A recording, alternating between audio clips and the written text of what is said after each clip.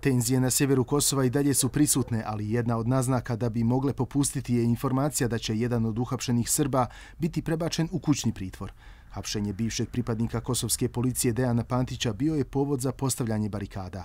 Pantić je uhapšen 10. decembra pod optužbom za napad na policiju i navodne terorističke akte. Velika pobjeda za nas i veliko hvala svima ne znamo šta, šta će dalje biti sa svim s cijelom ovom situacijom, ali mislimo da je ovo korak ka boljitku i da će konačno da krene nešto da se dešava u pozitivnom smislu i da će sve ova agonija naroda i moje porodice biti gotova, da će narod krenuti konačno normalno da živi. Odluku suda u Prištini o Dejanu Pantiću u pitanje je doveo premijer Kosova Albin Kurti. Nije mu kaže jasno kako je donesena odluka o kućnom pritvoru s obzirom na to da je optužen za terorizam.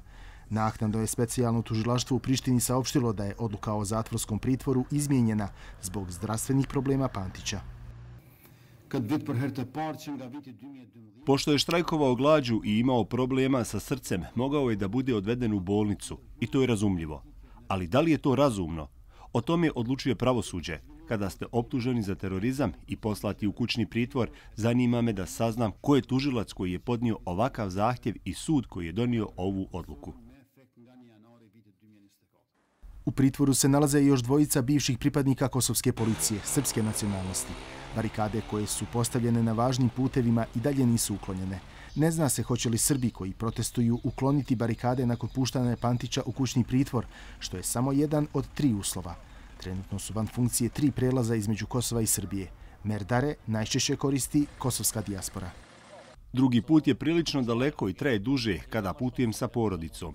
I ovdje je katastrofalna situacija. U subotu sam na ovom prilazu čekao najmanje 7 sati.